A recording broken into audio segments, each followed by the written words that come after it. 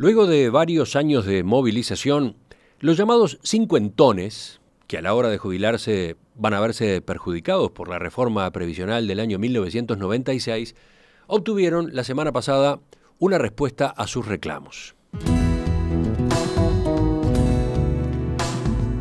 El presidente Tabaré Vázquez anunció que el gobierno prepara un proyecto de ley que le permitirá a quienes tenían 50 años de edad al 1 de abril de 2016 elegir entre cobrar su jubilación por el sistema mixto de BPS y AFAPS o hacerlo únicamente por BPS. Según explicó el mandatario, los que tomen esta última opción deberán transferir sus ahorros desde un sistema a otro.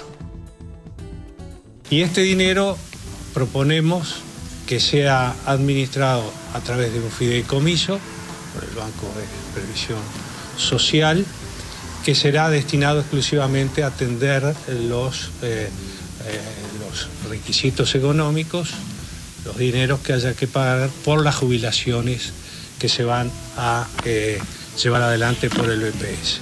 Habrá otros ciudadanos que informados optarán por quedarse en la SAFAP, pero esa es una solución que tendrá que tomar libremente cada uno de los interesados. Esta alternativa, que todavía no está pronta y que viene siendo afinada por el Poder Ejecutivo, ha dado lugar a discusiones en estos días. Por ejemplo, mereció reparos de la Asociación Nacional de AFAPs, una gremial integrada por Unión Capital, Integración AFAP y AFAP Sura. ¿Qué impacto puede tener la idea que maneja el gobierno? ¿Qué alternativas tiene la Asociación Nacional de AFAPs? Bueno, de eso es que vamos a conversar en los próximos minutos. Está con nosotros Sebastián Peaguda, presidente de la gremial y por otro lado gerente general de Sura.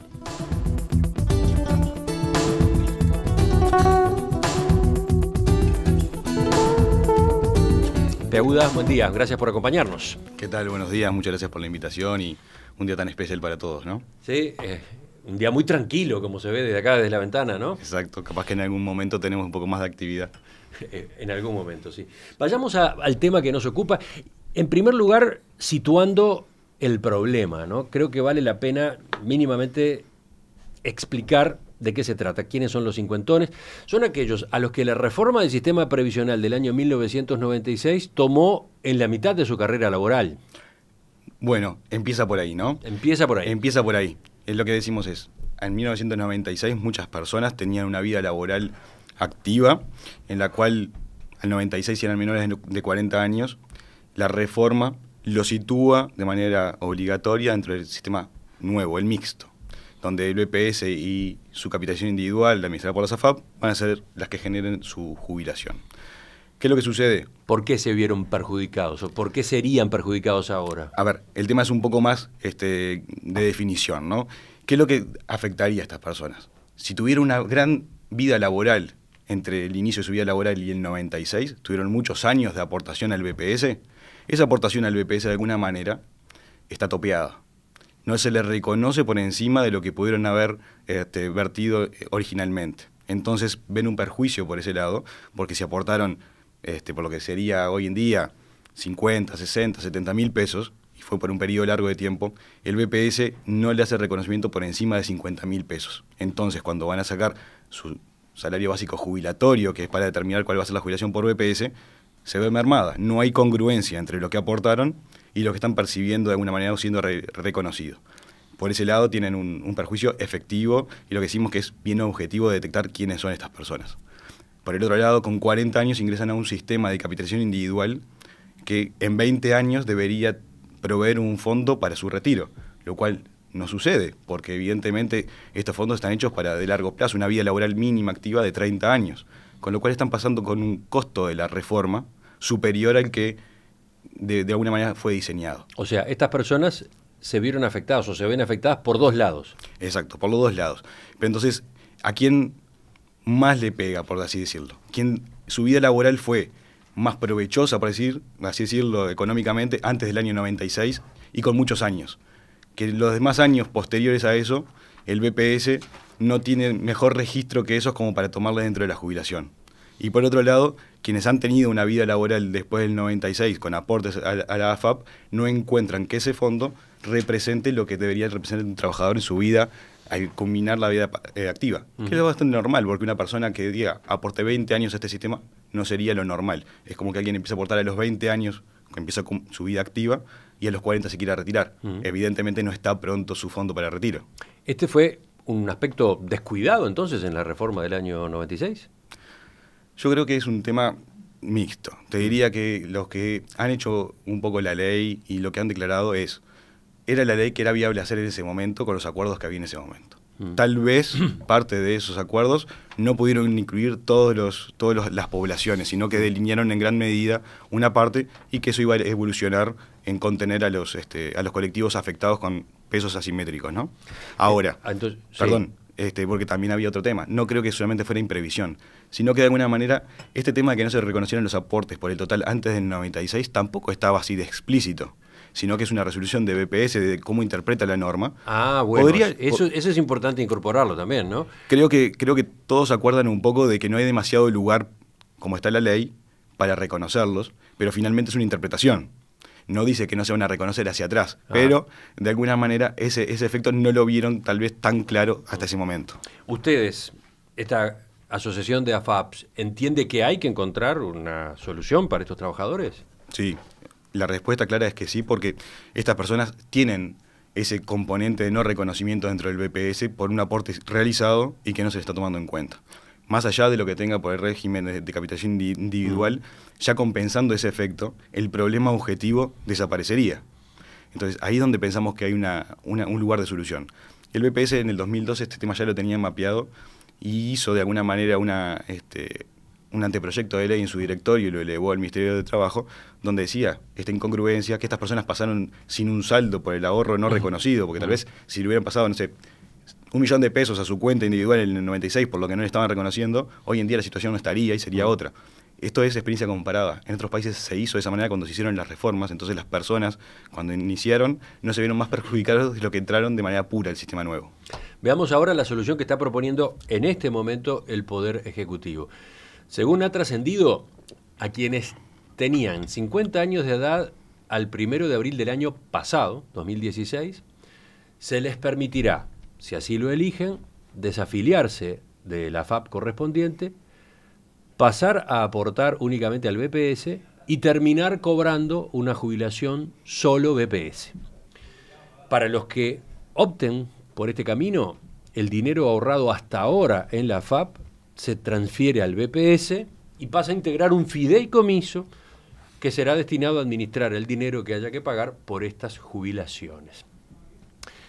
Así es a grandes rasgos. ¿Usted quiere agregar algún detalle? No, básicamente decir un comentario. Han habido tres declaraciones públicas, o, por lo menos tres comentarios públicos, y lo demás lo estamos de alguna manera hilvanando para, para poder completar la historia. Y la historia podría cambiar mucho, capaz que en algún comentario, si un articulado completo definiera otra cosa, ya los supuestos cambian. Esta es una puntualización importante. El texto todavía no está, el proyecto de ley todavía no está. Hay que manejarse con las explicaciones que se han hecho en conferencias de prensa, etc. Pero bueno, va a haber que hacer algunos supuestos y a partir de ellos es que viene el análisis a continuación. Una consulta antes de seguir. Esta medida implica para el Estado un gasto. Va a haber que hacer frente al costo de esa compensación a los cincuentones más adelante en el tiempo, llegado el momento en que se jubilen.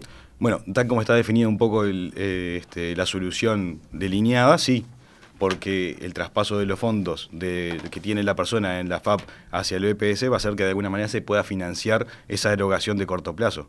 ¿Por qué? Bueno, porque lo que vemos es que estas personas tienen hoy una respuesta en base a los fondos que tienen acumulados, porque si era, directamente se iba el gasto del BPS, no lo, no lo, estaban viendo la solución. O sea, cuando empezó el reclamo se vio que tenía lógica, tenía sentido y era un tema objetivo, no se les podía dar la solución porque de alguna manera las cuentas públicas no lo podían financiar. Entonces, recurrir al ahorro, privado que tienen estas personas en, en la FAP lo hace viable, pero solamente lo dilata en el tiempo, porque el fondo acumulado que tienen no da para pagar la diferencia de lo que de alguna manera se le, se le debería reconocer. Entonces, en algún momento, más bien temprano que tarde, esas erogaciones del instrumento que se elija para hacerlo van a empezar a suceder, se van a agotar y después van a empezar a, este, de alguna manera, así verse reflejadas en las cuentas públicas. Y acá en este caso, 5 o 10 años, ni siquiera es otro capítulo, es una vuelta de página. este, y ahí es donde vemos un poco el inconveniente y, un poco la, falta de, de, mapear el tema solamente a la población objetivo. Que ahí es como diríamos, ok, perfecto, la población objetivo tenía un efecto que lo podemos ver hoy y lo podíamos ver hace cinco años y lo podíamos ver hace diez. Mm. Entonces, estas personas están cargando con un costo. Ahora, ¿qué sucede con ampliar esta masa a más personas poniendo a las personas de más de 50 años? Hay muchas personas que no tienen este efecto. Hay muchas personas que no tienen aportes antes del 96 y hay otras que no tienen aportes anteriores al 96 de más de 50 mil pesos de hoy en día. Entonces, estas personas de alguna manera no estaban dentro del reclamo del colectivo cincuentones, como estaba definido, y van a pasar por un momento de incertidumbre, de no saber qué es lo que tienen que hacer. Obviamente, por suerte lo que se ha definido es que va a haber un asesoramiento, pero de alguna manera no estaban contenidos dentro de la ambición inicial de dar una solución a un colectivo muy definido. Se ha, se ha ensanchado la población que tiene que ver con esta solución. Cuando se estuvo hablando originalmente de todo este tema, se había llegado a una población afectada que podía estar rondando entre los 20.000 y los 40.000. Después el BPS en el Parlamento dijo que estaban dentro de los 30.000 personas, pero 30.000 personas dentro de una población total de 200.000 personas que tienen mm. cuenta en la FAB y tienen más de 50 años. Algo ese es el número. Con lo cual, el anuncio inicial del otro día, si se mantiene tal como es así, que son para la población mayor de 50 años, el primero en 96, del, de, perdón, primero de abril del 2016, amplía suficientemente la base como de consulta como, como para decir cuál es la expectativa de que estas personas que no tienen esas casuísticas empiecen a hacer una consulta sobre el sistema. Mm. Más allá de estar informados, que sería genial, si la ambición es transferir de alguna manera estos saldos a las cuentas del BPS, lo que se va a hacer es acelerar el proceso de necesidad financiera, de apoyo financiero adicional al BPS, mm. con lo cual va, va, a estresar las cuentas públicas y ahí todo el sistema de alguna manera va a sufrir, porque el sistema es mixto. Lo que más necesitan las AFAP es el socio que es BPS, también pagando su parte de las prestaciones en la medida que se habían definido. Entonces, acá yo creo que hay un tema de, solvencia a largo plazo para todo el sistema. Bueno, pero vayamos a, la solución que propone el Poder Ejecutivo. Esto del fideicomiso, la creación del fideicomiso, es una forma de de, fortalecer al BPS para que pueda hacerse cargo de los cincuentones, pero garantizando que esos fondos sean exclusivamente destinados a ellos y no para otros usos, como por ejemplo paliar el déficit habitual del organismo, de este organismo previsional. ¿Cómo ven esta fórmula del blindaje de estos fondos? Creo que en, el, en, la solución final, en el espíritu de la solución, tiene aciertos. ¿Cuál es el acierto principal? Uno que nosotros veíamos con mucho, este, mucho atino era que los recursos que se transferían de un sistema al otro no fueran a la vena, por así decirlo, de las cuentas públicas del BPS. Mm. O sea, que en un año la asistencia financiera que necesita el BPS no se viera mitigada por las transferencias que podían llegar a recibir y que el año siguiente el déficit fuera el mismo o superior que los años anteriores. O sea, o sea, existía teóricamente la posibilidad de que toda esta plata que los cincuentones traen de la FAP para el BPS se la comiera el BPS en su presupuesto cotidiano, digamos. Eso no es teórico, eso sucedió con una ley del 2013, una aplicación de, lo que fueron las revocaciones, ah, que de alguna manera eso ya ponía la opción de la persona de ver en qué sistema le servía más, pero no contenía a las personas que fueron obligadas a pasarse al sistema. Hay un antecedente. Hay un antecedente y fue de esa manera. Entonces, ¿qué es lo que se vio? Bueno, que el, déficit de un año del BPS desapareció por estas transferencias y que los recursos necesarios para seguir afrontando esas nuevas este, obligaciones ya no, ya no están. Mm. Y la asistencia financiera de ese año del BPS no fue necesaria, está bien, pero de alguna manera el ponerlos en algún instrumento separados del balance del, banco eh, del BPS es un elemento positivo. Mm. Lo que estamos de alguna manera diciendo es, ¿será un fideicomiso la manera de estructurarlo? ¿En qué medida? No en la medida de la, de la, seguridad, sino decir, hay que hacer tantas cosas para poder hacer un fideicomiso y que está bien administrado y que esté invertido de manera este, como está invertido en la FAP, que de alguna manera no, hace mucho sentido replicar toda la estructura que ya está montada de inversiones, de riesgos, de todo lo que es la parte regulatoria que hace el Banco Central sobre las AFAP, que es una parte muy importante del sistema para asegurar que todo el sistema sea solvente así como lo es. Sí, ese es uno de los cuestionamientos que ustedes han hecho, que la fórmula que se está presentando, la que por ahora se conoce con estas declaraciones públicas, implica que el BPS debe montar una estructura para rentabilizar los aportes que le vengan de, estas personas, de sus cuentas en las AFAP, va a tener que hacer una especie de AFAP, va a tener que armar una mini AFAP o, una maxi AFAP, no sé qué tamaño tendrá, eh, cuando ustedes dicen, las AFAP ya estamos, las AFAPs tenemos know-how, tenemos experiencia y hemos demostrado que somos buenas capitalizando ahorros, ¿no? Es, además es la actividad principal de la que hacemos, es nuestra actividad, es esa. El BPS es un sistema de reparto operacionalmente configurado para eso, tiene gran eficiencia seguramente ganada en ese, en ese aspecto, pero es desconocer que las inversiones en el mercado, el expertise, lo, tienen los actores, digamos, en el mercado financiero, y gran parte de los actores del mercado financiero son las AFAP. Este, en estas consideraciones, cuando usted habla de las AFAP y su experiencia en manejar los recursos de los trabajadores afiliados, termina abarcando también a República FAP, ¿no? Quiero decir, usted acá está representando a las privadas, a las, estrictamente privadas, pero ese concepto es el mismo, vale también para República FAP. El concepto de, la especialización que hay en, los mercados financieros, por supuesto. No es naturalmente diferente.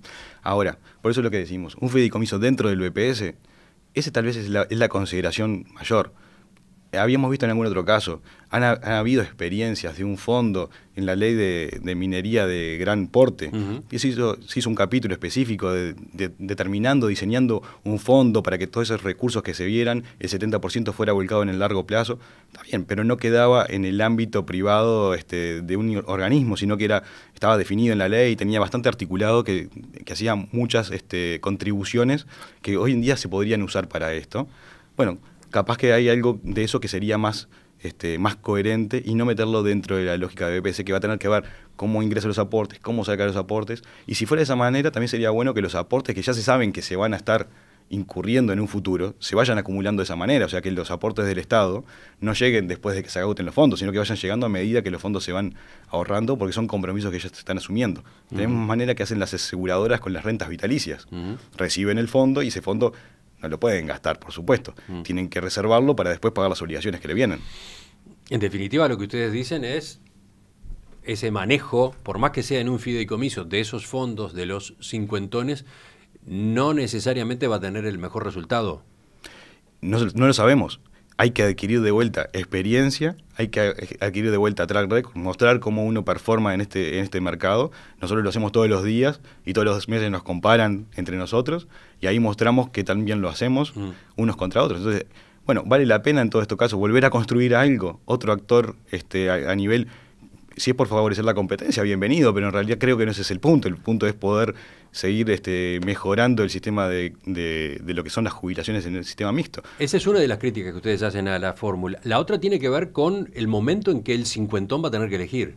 Bueno, es que es crítico, ¿no? Porque es que de alguna manera vamos a estar haciendo optar a la persona de salir de un sistema e irse a otro con una promesa ¿sí? porque no lo pueden asegurar, porque nadie sabe cómo va a ser la vida activa de ese trabajador hasta el final de, del momento de que se genere causal jubilatoria, y si lo hacemos optar con 51 años, le dejamos todavía en promedio 12 años de vida activa para poder ver cuál es el resultado. ¿Cuándo es que van a tener que elegir los cincuentones según el plan? No está definido, los trascendidos un poco que han sido, han sido tal vez dos años, como para poder hacer esa ventana de tiempo. O sea, van a tener que elegir en base a estimaciones, en base a un asesoramiento que se les va a suministrar sobre cuál terminaría siendo su caso a la hora de jubilarse. Exacto.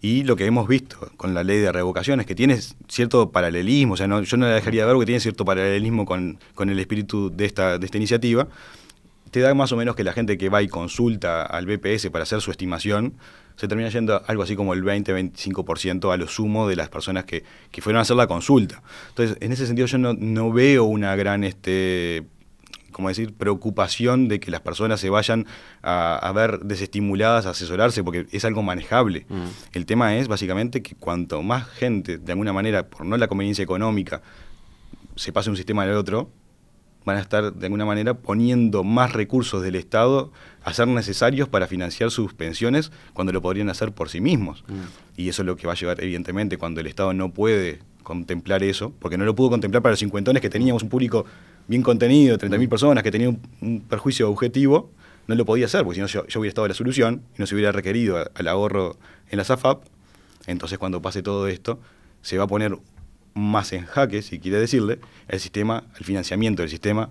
Pero además, al tener que elegir ahora, digamos, en un plazo de dos años, no se corre el riesgo de que después, cuando llegue el momento efectivo de la jubilación, la persona concluya, ah, no, me equivoqué. Pero claro, es un poco lo que decía. Esas estimaciones son estimaciones. Y mientras nosotros lo conteníamos dentro de la gente que tenía un problema objetivo, bueno, era parte de lo que se podía hacer, porque de alguna manera no era porque eran demasiados o eran pocos, era porque de alguna manera ya tenían un perjuicio, ya lo tuvieron durante 20 años. ¿Qué hacía la diferencia dejarlos elegir a estas personas al final de su vida activa y optar por la puerta de ir al BPS si fuera lo conveniente? Porque además puede cambiar, en, los años que le quedan de actividad, pueden pasar muchas cosas y esa... Eh, eh, esa, esa posibilidad teórica que se le plantea en la evaluación, en el asesoramiento, capaz que no se corresponde con la realidad. Esa es otra posibilidad que también se da, ¿no? También. Y también no vamos a desconocer de que la persona mientras esté en la FAB, su fondo está administrado de manera profesional y les va dando rentabilidad. Entonces, el Estado, si la persona optara mañana, al momento de su retiro, a los 62, 63 años de su retiro, optara por traspasar sus fondos a la, al BPS, la FAB le va a transferir unos fondos sustancialmente mayores de los que existen hoy en día entonces las cuentas públicas van a sufrir menos por ese, por ese tiempo. Y en ese caso yo creo que lo podemos como, como demostrar de lo que hemos hecho, porque tenemos 20 años mostrando las rentabilidades que se dan. En definitiva, ustedes, ahora lo vamos a ver, pero ustedes proponen que eh, el trabajador elija en el momento del retiro mismo. Exacto. No, ahora. En el momento del retiro que se le abra la, la instancia, los cálculos a la vista, puede elegir A, puede elegir B, la, la, mecánica. Vamos a hacer una pausa y vemos qué ventajas tendría efectivamente resolver al final de la vida laboral. La semana pasada, el presidente Tabaré Vázquez anunció la creación de un fideicomiso para administrar los aportes de aquellos cincuentones que elijan pasarse del régimen mixto, con AFAP incluida, al del Banco de Previsión Social. Por ahora no se conocen los detalles del proyecto de ley, sí sus grandes rasgos, los que las propias autoridades han comentado. De todos modos, a partir de esa novedad ya se ha generado polémica y, por ejemplo, la Asociación Nacional de AFAPS cuestiona ese camino y propone otras alternativas. De eso que estamos conversando esta mañana con el presidente de esta gremial, Sebastián Peaguda. Sebastián Peaguda es licenciado en Economía, gerente general de AFAP Sura y desde septiembre del año pasado presidente de la Asociación Nacional de AFAPs que agrupa a Unión Capital, Integración AFAP y AFAP Sura. Eh, Peaguda, vayamos a, a las alternativas que ustedes proponen, las variantes diferentes a esta que por ahora se viene manejando a nivel del Poder Ejecutivo. Yo te diría que el primer escenario de variante que uno, que uno diría es por qué no vamos al reconocimiento de los aportes vertidos y no, este, y no, y no reconocidos en el momento de la jubilación. Así atacamos el problema original del, del, asunto. Vamos a recordar cómo era esto porque lo comentamos al principio de la entrevista. Ah, ok, por las dudas. Eh, esto remite a la ley del año 1996. Exacto, los trabajadores que pasaron de manera obligatoria, porque tenían menos, menos de 40 años en el 96, primero de abril del 96, que pasaron obligatoriamente al sistema mixto, si tenían una vida laboral extensa en el BPS, de alguna manera tienen muchos años aportados al BPS, que si fueron superiores a un, a un, valor económico de hoy en día, unos 50 mil pesos, el BPS no se los reconoce, o sea, le reconoce hasta 50 mil pesos. Pero si la persona tenía un salario de 60, 70, 80, 100 mil pesos, toda esa diferencia no la ve reflejada en el cálculo de su salario básico jubilatorio. Entonces, por el otro lado, tiene 20 años de aporte solamente a la FAP, con lo cual ese fondo que ha llegado a acumular no tiene el volumen económico suficiente como para una persona que quiera enfrentar su retiro. Una persona que empieza a trabajar a los 20 años no, se retira a los 40. O sea, el fondo de los, a los 40 años, el fondo con 20 años no da para, para pagar el retiro de esa misma manera. Entonces, es lo que decíamos hoy en cuanto a que estas personas, por la ley del 96 y la interpretación que se hizo luego por vía reglamentaria, eh, terminan siendo perjudicadas por dos lados, ¿no? Por, dos, motivos. Pero entonces no es el problema de si tiene 50 años o más. El problema es si tenía estas casuísticas, si tenía una vida laboral profunda y activa antes del 96, que, tenía aportes por encima de 50 mil pesos, creo que eso ya mitiga mucho la, población que tenía este, esta incertidumbre, porque lo que recibe BPS hoy en día en su recaudación, el 75% gana menos de ese dinero. Entonces queda acotada la población de manera este, sustantiva. Entonces, los cincuentones no es un problema generacional, es un problema de, transición entre un sistema y el otro. Y lo que estábamos conversando era sobre cómo compensar de alguna manera esta pérdida. Mm. ¿Una fórmula es? Bueno, la fórmula número uno, que es la que estaba definida y que creo que este, los expertos han, han sustentado como fortaleza, es decir, reconozcan los aportes vayamos a un escenario. Reconozcanle los aportes completos previos al 96. Exacto. De esa manera la diferencia se mitigaría y al mitigarse la diferencia la persona se podría retirar en un sistema mixto por la parte de BPS y por la parte de, capitalización individual en una aseguradora y con la suma entre las dos va a llegar a compensar esa diferencia. Y tema laudado. ¿El tema cuál es? Obviamente eso tiene un costo. Reconocerle aquellos aportes completos tiene un costo, pero igual siempre va a haber un costo para el Estado acá. El tema es el costo siempre hay que llevarlo a nivel presente. Mm. ¿no? Pero alcanza con eso, no hay que hacer nada con la otra parte de la jubilación que va a recibir, la que viene de la FAP?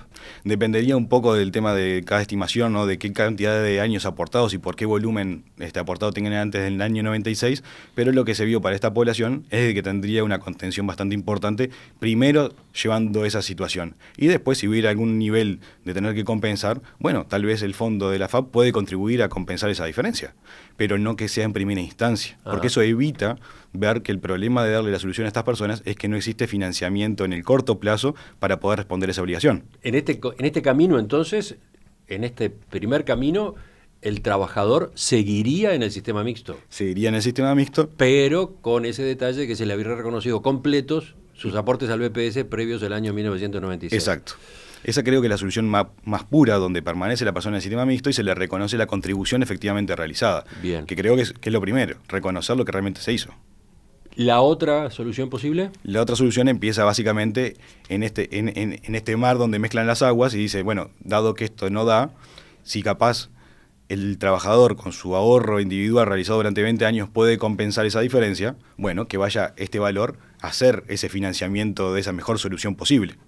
Entonces ahí es donde empieza la posibilidad de transferir los aportes al BPS. Pero el costo de largo plazo igual está los, valores que están en los fondos que se habían visto hasta ahora dan como para cubrir la diferencia durante 10 años. Pero después de esos 10 años, que lo que decíamos en temas previsionales es la mitad de la, vida pasiva que tiene una persona, van a empezar a darse las pérdidas en el BPS. Y cuanta más intensa sea el flujo de un lado hacia el otro, más difícil va a ser al BPS afrontar esa cuenta fiscal. 10 años no es nada.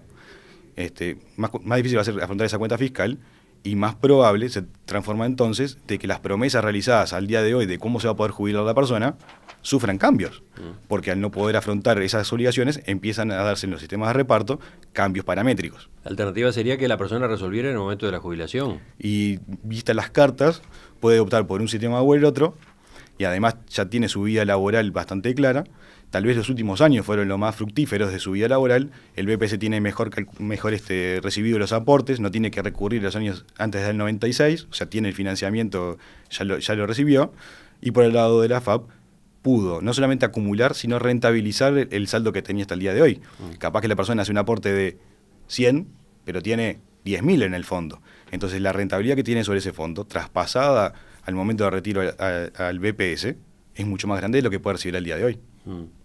Ahora, estos dos caminos que ustedes están proponiendo pueden ser vistos como caminos interesados. ¿Por qué? Porque en los dos casos el trabajador sigue aportando al sistema mixto, por lo tanto sigue aportando a la FAP, por lo tanto la FAP sigue cobrando la comisión correspondiente. Hay quienes entienden que ustedes, las AFAPs, están interesadas, están preocupadas por mantener el cobro de esas comisiones, que la solución que maneja el Poder Ejecutivo las afecta porque dejan de percibir esas comisiones. ¿Qué responde usted? A ver, el interés mayor, de, yo creo que de cualquier empresa es perdurar en el tiempo. Si vamos a perdurar en el tiempo eh, bajo ese concepto, no va, no va a suceder. El sistema mixto tiene que ser bueno para la persona, tiene que darle la mejor probabilidad de llegar a la mejor jubilación posible. Entonces, por tratar de retener a un colectivo que no, que no le está haciendo este, funcional este sistema, no vamos a perdurar en el largo plazo. No tiene sentido basarnos en eso, la solución del sistema. La queremos ver en el largo plazo. Nuestro principal socio para pagar jubilaciones que sean para las personas, para los trabajadores suficientes y que sean de alguna manera este, lógicas para este sistema es el BPS. Si frente a, incentivos de corto plazo vemos que esa cuenta pública se le puede llegar a hacer muy compleja de cubrir en el largo plazo, lo que vamos a ver van a ser cambios en el sistema de reparto, porque el sistema de capitalización individual, cada uno financia su jubilación, o sea que hay pocos que se puede hacer para, para alterar de alguna manera la acumulación individual, pero en el sistema público, si las cuentas fiscales no dan para compensar las déficits, empiezan a generarse. Y el BPS tiene cálculos técnicos, expresados y públicos, donde dice que ya hoy en día la trayectoria de largo plazo no le da para cubrir los déficits que tiene hoy en día y después pasando a dos puntos más del producto en el corto plazo, en, términos previsionales. Entonces, las transferencias que van a estar haciendo de un lado a otro, mañana se van a poder mantener las, las promesas este, y ese es uno de los desafíos. No tengo duda que un país tiene que tener el sistema que más le haga sentido a ese país. El tema no es quién lo administra, es si hay suficiente financiamiento. Uno puede decir, no, el problema es que lo administran las AFAP o el, problema es que lo administra el BPS. Ninguno. El problema es que no existe suficiente financiamiento seguramente para pagar las prestaciones que quisiéramos. Entonces, en los, en los lugares más, este, más desarrollados, Noruega, Dinamarca, el problema no es diferente. El problema no es de la administración de los fondos, sino el problema es si los fondos son suficientes para pagar por el periodo de vida pasiva que queremos, ¿sí? en la cuantía que queremos y para tener la cobertura que quisiéramos para todos. Bueno, pero a la objeción esa de que ustedes están preservando el negocio o una parte del negocio, la respuesta directa cuál es?